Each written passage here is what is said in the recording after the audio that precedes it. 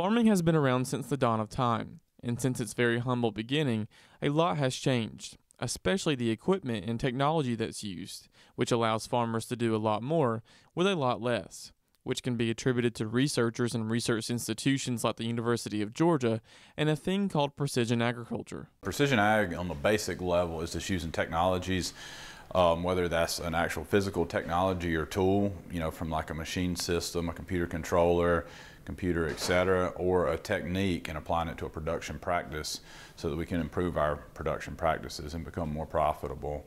You know, in the end, whether it's gaining more yield, whether it's best ma better matching our inputs, or like I said at the end, what we want to do is become more profitable. But using that, utilizing that technology to do that. One way producers do that is by utilizing yield mapping technology which use sensors that can be added to grain and cotton harvesters that produce an image like this one of the different zones around a producer's fields. So a yield map basically ends up becoming the, the end all tell all of what we've done throughout the year. It's how good did we do spatially throughout that field. And so all producers are going to know, you know, where my low yielding spots are at, my high yielding spots are at. But what this does is actually quantifies those for me throughout my fields and across my farm. So that map ends up becoming or can become a powerful tool for us to use throughout the rest of the year.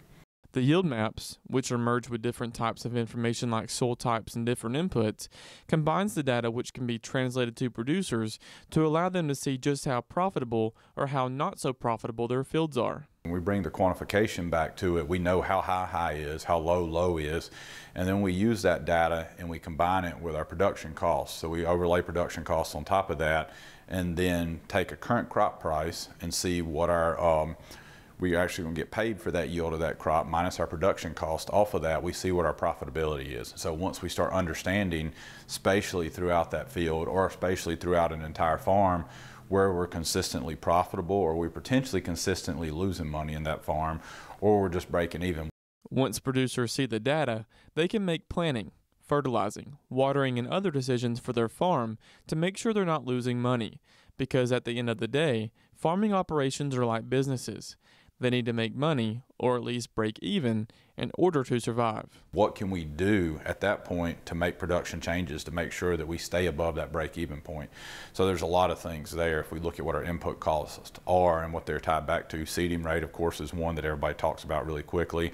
Fertility management is another. Is there some sort of spray regime or something that we've done out in that farm that's changed that we need to look at a little bit differently? Is there land that's never profitable? So if there's land that's never profitable, we might need to take and start looking at changing either the crop that we grow there, you know, whether that's just to a different crop rotation, or do we need to switch it to something like pine trees, take it out of production?